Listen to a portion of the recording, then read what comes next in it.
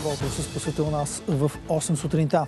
Вече втори ден след като оголен кабел уби 16-годишно момче на тротуара на Оживен булевард в София, няма институция, която да е поела отговорност.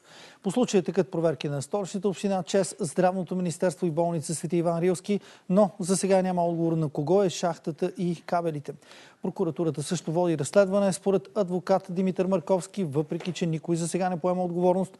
Отговорни в такива случаи има и разследването трябва да установи кои са. Енергийният експерт Еленко Бошков коментира, че така не е възможно да бъде одобрен проектът, по който е свързан кабела това не е някакъв случайен кабел, тъй като енергопреносната а, мрежа в, а, в столицата ни, а, начина на преминаване на проводниците е абсолютно законово изчистен и регламентиран. Няма как този кабел, хей така, от никъде да седи в една шахта. Този кабел е изпълнен по някакъв проект. Такъв проект не може да има. На този кабел местото не е тук. Тук става дума за престъпление. 1068 са новите случаи на коронавирус в страната при направени 11 091 теста. Положителни са 10% от направените проби. 3421 са пациентите в болница. В инфекциозно отделение са настанени 289 души. Излекувани са 656 души, починалите са 47. 2048 са поставените вакцини. Общият им брой за страната е вече 77 436. А в Белград здравни работници протестираха пред сградата на правителството. Те настояват за по-добри условия и по-голяма защита при работата с болни от COVID-19.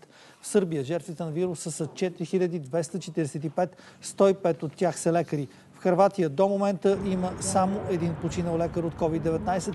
В Албания са 24, а в Босна 23. С огромни загуби завършва карнавала в Венеция. Заради пандемията той се празнува виртуално. Под 10% от хотелите в града са отворени, но са почти празни. В магазините също няма посетители. Почти всички поръчки са по интернет. Миналата година карнавалът приключи два дни по-рано заради епидемията. Загубата за местната економика се изчислява на около 70 милиона.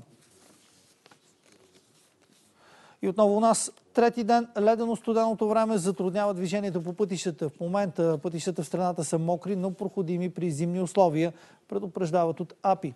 По информация на МВР, движението на кулата вече се осъществява нормално. В 2 часа и 30 минути през нощта е започнало пропускането на тежкотоварния трафик. Опашката, която беше достигнала 14 км, се е стопила до километър и половина. Още информация ще намерите в сайта ни bnetnews.bg, както и в мобилното ни приложение. Вижте сега и прогнозата за времето.